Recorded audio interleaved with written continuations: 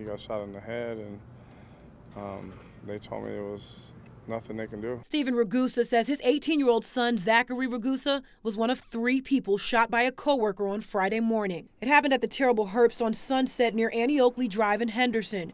Paramedics rushed all three victims to the hospital, where Zachary later died. I saw him this morning in the driveway, left the house, and he was going to work, and that was it. And I'll never see him again. Police identified the suspected gunman as 22 year old Rafael Valdez. The suspect involved in this is in custody. Officers say Valdez and the three victims were all employees at the service station.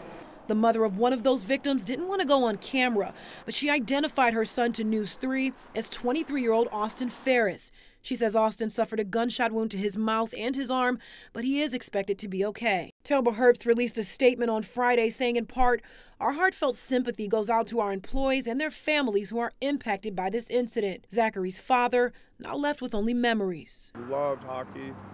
Um, we were going to go to a Golden Knights game. Never got the chance to take him. And um,